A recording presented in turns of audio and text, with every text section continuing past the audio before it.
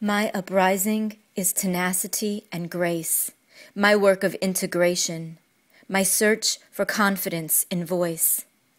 The uprising propels me forward, forces me to name my place, claim what I've earned and unlearned, own what I've worked for, and name injustice for what it is that abominable destruction of spirit, that grind of greed and hatred that makes all of us smaller, enhances nobody, not even the disillusioned.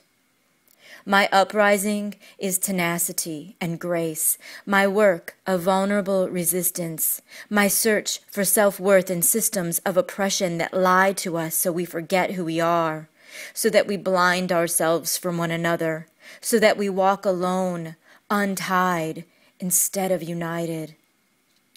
The uprising begins in my belly, out of love cloaked in righteous rage, out of strength invoked the hardest days, out of hope soaked in brightest rays.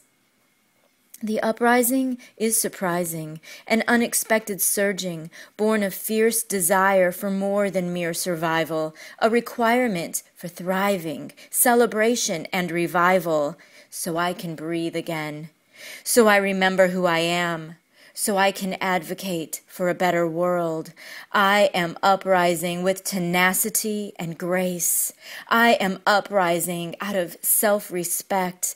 I am uprising to listen with empathy and speak with clarity, to share a conversation and a meal.